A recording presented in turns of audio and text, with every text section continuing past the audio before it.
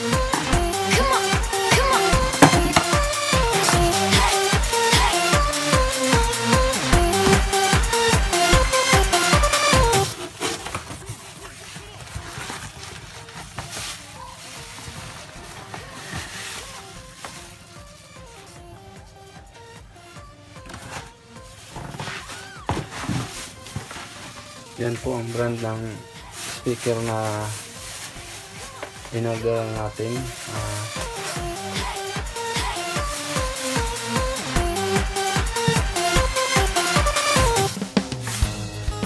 Manix.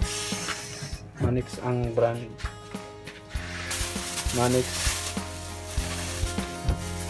12 full range speaker para sa guitar amp po yan. So dahil guitar amp ang paggagamitan natin so kailangan natin ng full range na speaker so. Manix FR121 8 ohm siya na 200 watts so ito yung plant niya yan o. Ah. 12 inches po siya na speaker mag-assemble tayo ng guitar amp yan.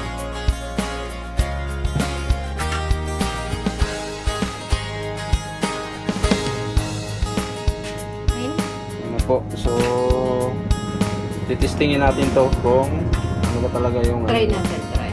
try natin Kung try natin ang tunog niya kung maganda ba o hindi. So, sige, subukan natin. Ito yung positive.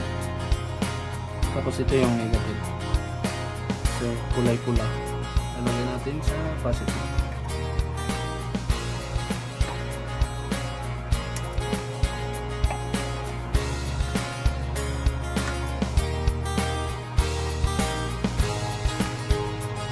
Para po ito sa guitar amp.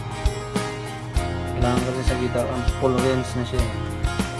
Nandun na, may woofer na siya. Nandito na lahat. Saka ano na rin to, hi-fi na rin. Meron na rin Twitter to. Kasama.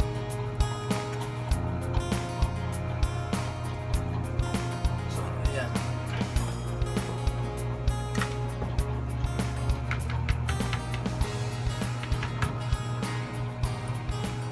Titistingin na natin kung maganda ba yung tunog. Ito guys, oh. Titest natin. Yung ating yan. Ano